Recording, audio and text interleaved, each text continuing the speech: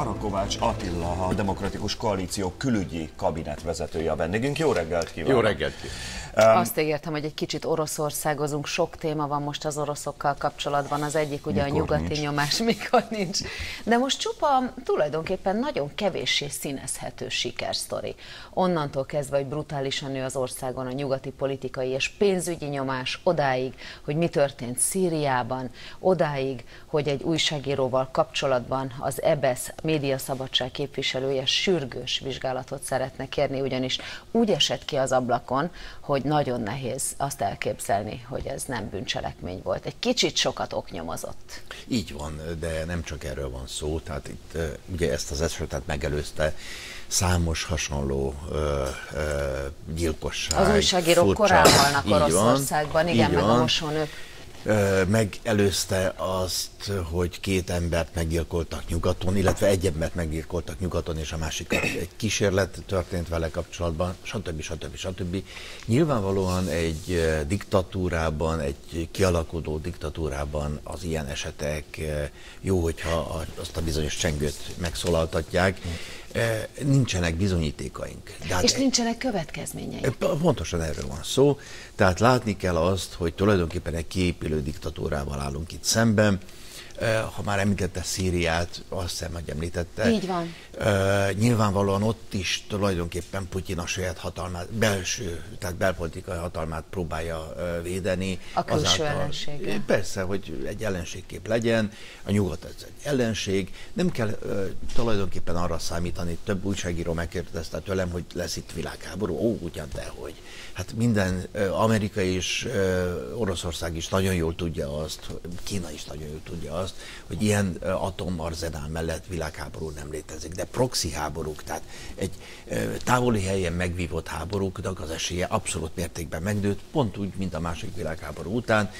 Korea, Vietnám, stb. stb. stb. ugyanezt mutatta, most Szíria. Egy pillanatra mindjárt majd rákérdezek Koreára, ugyanakkor Krisztina, amikor említette, hogy nem volt következménye, vagy nincs következménye, annyiben talán árnyalnám a képet, hogy úgy következmények vannak, hogy időnként bejelentenek bizonyos szankciókat, és emlékezzünk csak a 2014-es téli olimpiára, ahol Putyin elnök ott volt a megnyitón, majd néhány héttel később lerohanta a krímet, gazdasági válságba sűjesztették Oroszországot, iszonyatosan inflálódott a rubel, és a nép mégis imádta, mert ő az a cár jellegű vezető, vezető aki, növel, aki növelte az országot az egykor elvett és Khrushchev által az ukránoknak adott Krímfélszigettel. Viszont most már több mint fele az oroszoknak nem támogatja az elnököt, csak ez a választási eredményeken De Krímet mindenki támogatta, és így ment föl. Tehát, hogy érdekes, hogy a gazdasági problémák ellenére mégis inkább a területnövelés mitoszát vagy vannak, boldogságát élték Vannak meg. országok, ahol nem számít a valóság, például a gazdasági valóság sem, ilyen Oroszország, tudnék még néhányat mondani. Uh, Mosolyából azt érzem ki, hogy van közelebbi ország is az ön fejében? Igen, igen, igen, igen. Langyos, azt hiszem. Langyos. Igen, azt hiszem. Ez egy tragédia tulajdonképpen mind Oroszország, mind más állam számára, tudnék készek ezek az emberek megfizetni, a többség megfizetni annak az árát, hogy tulajdonképpen nagynak higgye magát, miközben már abszolút nem nagy. Ez a nacionalizmus egyik nagyon-nagyon specifikus és teljesen jól ismert, általunk jól ismert formája. Tehát a nacionalizmus az minden esetben tulajdonképpen meghozza ilyen szempontból a gyümölcsét egy olyan társadalomban, amelyik nem volt felvilágosodás, vagy amelyikben tulajdonképpen a demokrácia nincsen otthon. A lapszemle előtt egy nagyon rövid kérdés. Nem érzi úgy, hogy Oroszország nemzeti, nemzetközi szinten veszít jelentőségéből? Gondolok itt Szíriára, ahol gyakorlatilag az orosz felségterületre is belopakodtak szinte szó szerint az amerikaiak, vagy például az évtizedek óta fenntartott valamiféle észak-koreai pufferzóna, hogy a NATO seregei ne álljanak az orosz seregekkel, szinte mintha Észak-Korea átlépte volna Kínát, és most már Oroszországot Oroszországot is, és direkt módon tárgyal Dél-Koreával, illetve hamarosan, hogyha hinni lehet a híreknek, akár személyesen Trump elnökkel is találkozik Kim Jong-un bölcsvezető főtitkár elvtárs. Ne keverjük Ez a neve, össze. ne röhögjél. Tényleg ez a neve. Tényleg ez a neve. Ne keverjük össze tulajdonképpen Amerikát és Trumpot. Az, hogy Trump mit csinál, az egy dolog, és az, hogy Amerika milyen irányba mozdul el, az egy Igen, másik. de el, hogy érti de, az bocsánat, Egyesült Államok elnöke? És, van. És, és, észak és elérte azt, hogy Észak-Korea kihagyja ebből a tárgyalási folyamatból, úgy néz ki Oroszországot. És a kongresszus sem akkora ellensége az elnöknek? Ö, ott ugye a kongresszusban és a szenátusban is republikánus többség van, hát és az... ez a többség korlátozza leginkább Trumpnak a mozgásterét. Ez tehát is ez, igaz. Tehát ez Na, akkor nézzünk, nézzünk mai lapokat. Nem tudom megállni, Számtalan hogy... Lap címlapján Számtalan lap, a fenyőügy van. 20... Nem, nem, nem. Bocsánat, had, csak a kormánylapok. Nem megnézték azt? Én nem, most átnéztem a... Ez nem kor... A kormánylapokon van? ez, egy, ez egy Blitz című Igen. Ö, újság.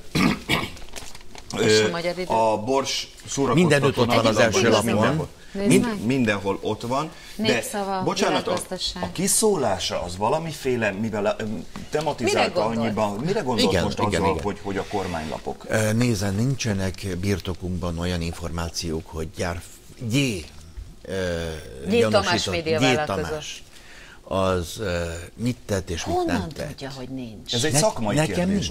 nem? Ja, önnek nincs, azt nincs, hittem a rendőrségnek nincs. nincs. Bocsánat, félreértettem, meglepett, hogy tudja, ha, hogy nincs. Ha a rendőrségnek lett volna, akkor ez már uh, címlapokon szerepelt volna évekkel ezelőtt. Na de most lett. De most? Most került. Na, de ez mutatja azt, én nem védem G. Ez mutatja azt, hallgatom. Ez mutatja azt, hogy tulajdonképpen egy politikai uh, akcióról van most. Miért, Miért akarnának vele most leszámolni? Mert túl sok olyan téma van, ami a Fidesznek talán nem éppen De kényelmes. ő is a törököt fogtak, nem eres típusú ember lehet. Sokat tudnak egymásról. Ö, vagy nem. Vagy tulajdonképpen a kormány ezzel nem törődik. Bocsánat, ön egyértelműen politikai ügynek tartja? Abszolút mértek. Oké. Okay, Miért nem hamarabb? Nem lehet. Lehetséges, hogy bűnös. De akkor miért nem hamarabb? Most merül Azért, fel, mert szó sincs róla. Bocsánat, hosszabb időre elítéltek egy Portik Tamás nevű embert, uh-huh. akit március végén meghallgattak, előkerült egy hangfelvétel. Mi van akkor, hogyha a rendőrség azt mondja, és valószínűleg, uh, hogy mondjam, nem árlok, vagy nem vállalt nagy kockázatot, hogyha azt mondom, hogy ők azt mondják, hogy ez egy szakmai kérdés, most jutottak el oda, hogy valaki, aki rájött arra, hogy nagyon sok időt a börtönben fog tölteni, egyszerűen megnyílt a szája és beszél. Volt már ilyen a kriminológiában. Em, emlékeznek arra, hogy amikor a Portikot végül is komoly tények elé, meg komoly ö, vádak elé állították, akkor Pintert is megvádoltak hasonlókkal? Emlékszik Pedig ez így van. És mi történt? Semmi nem történt azt követően. Most is egy ilyen ügy zajlik, most elhiszik neki. Hát szóval nagy fenntartásokkal kell egy demokratának az ilyen kijelentéseket fogadnia. Lehet, nem hogy igaz, így, hogyha végül lehet, hogy nem. nincsen mégsem új bizonyíték, és kiengedik Gyárfás Tamást, akkor az óriási blama. Tehát, hogy most azt meg kellett gondolni, Mondjuk úgy, hogy a világ cikie. Tehát az ez nem majd kétszer, a holnap hanem 42 Így van, az majd a holnap kérdése, a Fidesz így szokott gondolkozni, ha majd elérjük a hithoz, akkor, illetve akkor fogunk átmenni rajta. Most ez ön egyértelműen egy kormányoldalt említ, és hogyha azt mondja, hogy korábban is ott lehet, hogy jól értem, akkor azt mondja, hogy miért most, mert korábban is tudhattak erről. Vagy nem tudhattak, vagy és nem most tudhat, sem tudnak. Igen, így van. De két évvel ezelőtt ezt az embert a közjogi méltóságok nagy csinnadrattával kitüntették, állami kitüntetést kapott. Mindjárt utána nézek, de ha jól emlékszem, a Magyar Köztársaság középkeresztjét kapta meg az úszók nagy sikerei okán. Igen. Uh-huh. Három éve, két éve, három uh-huh. éve, igen. Tehát így múlik az idő. Tehát a Fidesz számára így múlik az idő. Bárkit fölemelhet és bárkit elejthet. Egyértelmű, Ez a történet lényeg. Egyértelműen hát, politikai. Ah, én jó. azt hiszem. Hogy jó. Pillanatokon belül itt lesz Smuk Erzsébet, ugye a Lehet Más a politika részéről. Sok botrány volt az ellenzéki oldalon, kikivel, kikivel nem, lemondott, lemondtak különböző elnökök. Ugyanakkor Önöknek az... elég erős a frakciója mindeközben. Mindeközben, Több igen. Viszont az LMP-ben váratlan esemény is történt, fizikai konfliktussá is hajult mindaz, ami, ami általában nem szokott fizikai konfliktussá fajulni. Ilyenkor nézik az em, ezzel ellenzéki, ahogy önök is mondják, vagy önök mondják, demokratikus ellenzéki pártokat? Hiszen az LMP-t oda sorolták mindig is. Természetesen egyébként nem szólunk bele más pártoknak a belügyeibe, de ez a történet nyilvánvalóan azért érint bennünket kicsit közelebbről, mert egy demokratikus ellenzéki pártról van szó, nem akarunk ebben nyilatkozni. Látjuk a konfliktus, látjuk azt, hogy mindenkinek rossz ez az egész történet. Nagyon remélem, hogy túl lesznek rajta minél hamarabb. Mi az a dolga az új parlamentben a megerősödött DK frakciónak? Tulajdonképpen Terveznek-e kivonulásokat, mint az elmúlt négy évben? Ö, hát bármi benne lehet ebben a történetben, de ott akarunk lenni. Tehát az egy nagyon fontos történet, hogy a demokráciának szaba legyen és jelenléte legyen a parlamentben. E, azt mondja, hogy bent maradnak? Mert ugye sokan kritizálták a demokratikus koalíciót a korábbi években azért, hogy miért veszik föl a, a parlamenti mandátumukat, meg a fizetésüket, ha nem dolgoznak, nem járnak be. Ö, ugye van ilyen vélemény és olyan. Tehát egyrészt mi ben voltunk a parlamentben, és egy adott pillanatban, pont amikor a népszabadságot megszüntették, akkor kivonultunk ennek demonstrálására. Hogy tervezik mostantól a munkát? Nyilvánvalóan meg kell nézzük azt, hogy milyen események vannak, bent fogunk maradni, hogy, mert azért a parlamenti jelenlét nagyon fontos abból a szempontból, hogy ott tudjuk elmondani a véleményünket. Most úgy hangzik, mint a belső ellenzékben lett volna addig is, amíg nem így gondolták a pártban sokan, hogy ott kell lenni a parlamentben. Ö, nem, én tulajdonképpen mindig azt képviseltem, hogy ott kell lenni, de egy adott pillanatban ki kell jönni akkor, amikor végül is nem tartható a pozíció. Beszélgetésünk ideje lejárt, ugyanakkor két nagyon rövid kérdés, Igen. és legyen megértéssel, tényleg nagyon röviden teszem föl, és kérem, kérem hogy röviden válaszoljon.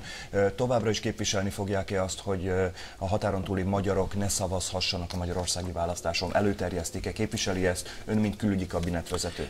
Pontosítanék, nem a határon túli magyarokra vonatkozik ez, hanem azokra, akik soha nem éltek Magyarországon. Igen, tőlük szeretnénk megvonni, meg akarjuk vonni a Önt bántották-e emiatt, különösen azért, mert a határon túl született, ugye a nézőink, akik talán nem tudják, hogy nagyváradi születésű, tehát volt-e olyan nagyváradi magyar, aki azt mondta, hogy ezt nem, hogy neheztelt önre emiatt? Persze, sokan voltak, és sokan voltak, akik támogattak. Nagyon szépen köszönöm, hogy itt járt nálunk, és együtt nézhettük Sok át mindenről beszéltünk, köszönjük. Köszönöm én is.